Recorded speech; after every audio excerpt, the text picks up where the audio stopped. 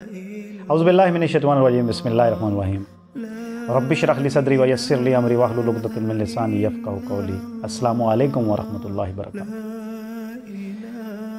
कैसे हैं मेरे सब भाई और बहन? यकीनन अल्लाह तबारक व ताली की हिफ्ज़ ईमान में होंगे। रमज़ान मुबारक का बबरकत, महीना अपनी बबरकत, सातें फैलाने के बाद अपने अहतमाम की जानब गामजन है। दुआ है कि अल्लाह तबारक व ताली हमें यह महीना ज़िंदगी में बार बार अता फरमाए। इसलिए कि यह महीना एक ऐसा महीना है जिसकी बरकतें और फजीलतें इंसान जितनी चाहे समेट सकता है। और इस महीने के आखिर में ज़ाहिर सी बात है कि कुछ रमज़ान मुबारक के दौरान इंसानों से गलतियाँ और कोताहियाँ हो जाती हैं। अल्लाह तबारक वाली ने हर मामले में माफ़ी का बहाना ढूंढा है।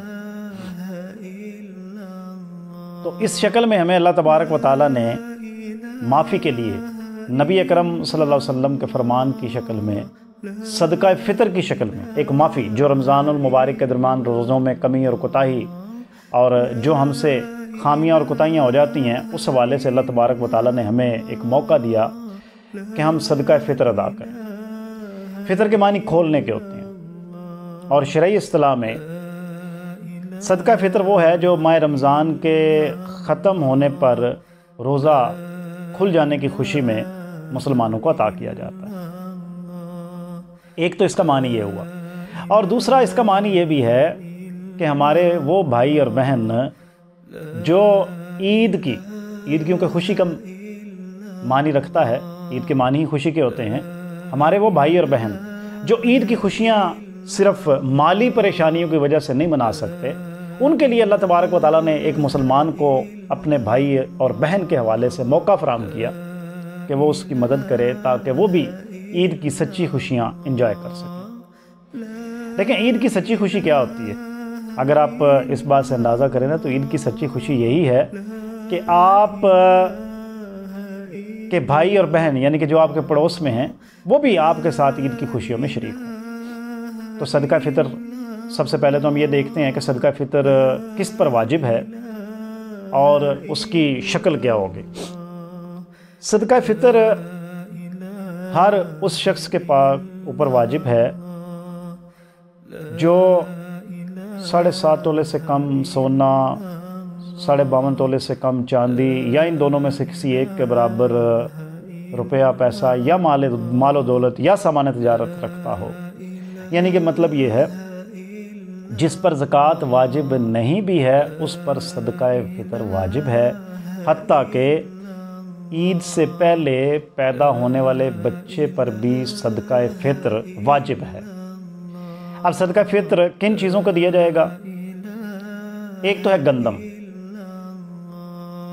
अढ़ाई किलो गंदम, जो कि तकरीबन, सौ रुपये के बराबर या एक सौ बीस रुपये के बराबर, जैसे भी, यानी कि रकम के हिसाब से होगा, जिस इलाके में जितनी रकम उसकी बनती है, उस हिसाब से। खजूरें अच्छी किस्म की, साढ़े तीन किलो, और किशमिश, साढ़े तीन किलो। उस हिसाब से। और ये इसलिए अल्लाह ने के सहाबा कराम ने अल्लाह के नबी के अहकाम को देखते हुए ये चीज़ मुकर की है कि जो सहब हैसियत है, उस पर उसकी हैसियत के मुताबिक है। यानी कि जो गंदम दे सकता है, उस पर उसकी हैसियत के मुताबिक है। जो खजूर दे सकता है, उस पर उसकी हैसियत के मुताबिक है। और जो किशमिश, यानी कि वसाइल के हिसाब से जो किशमिश दे सकता है, वो उसके हिसाब से है।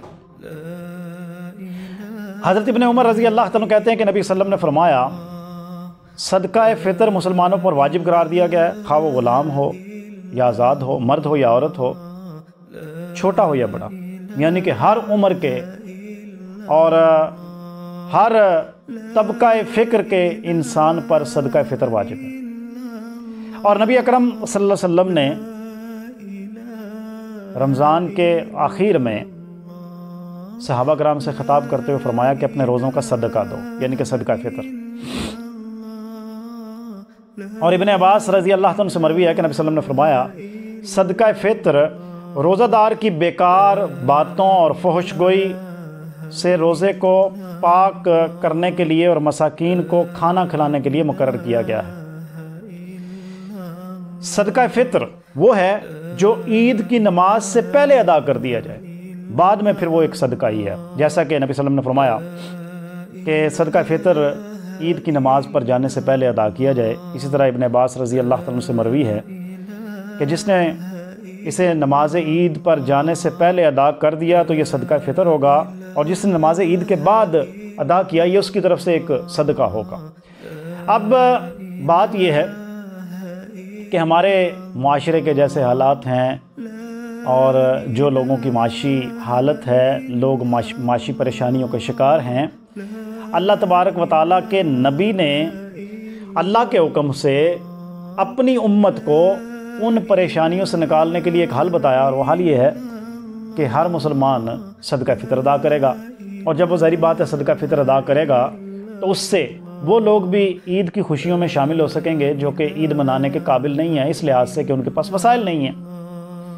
अब ये जो कोरोना जैसी कैफियत है और इसमें लोग यकीनन माशी परेशानी का शिकार हैं, लोगों के पास वसाइल की कमी है तो अल्लाह तबारक व ताली ने एक बेहतरीन मौका फ़राम किया है कि हम अपने इर्द गिर्द देखें। सबसे पहले तो अपने रिश्तेदारों में देखें और फिर यह है कि अपने पड़ोस में देखें, जो लोग इस काबिल नहीं हैं उनको सदका फ़ितर दिया जाए। और ये याद रखा जाए कि सदका फ़ितर से तनहा वगैरह नहीं दी जा सकती, ना ही मस्जिद को दिया जा सकता है। बाद लोग कह देते हैं ना जी कि हम मस्जिद में दे देते हैं और वो सदका फ़ितर हो जाएगा। ऐसा नहीं है।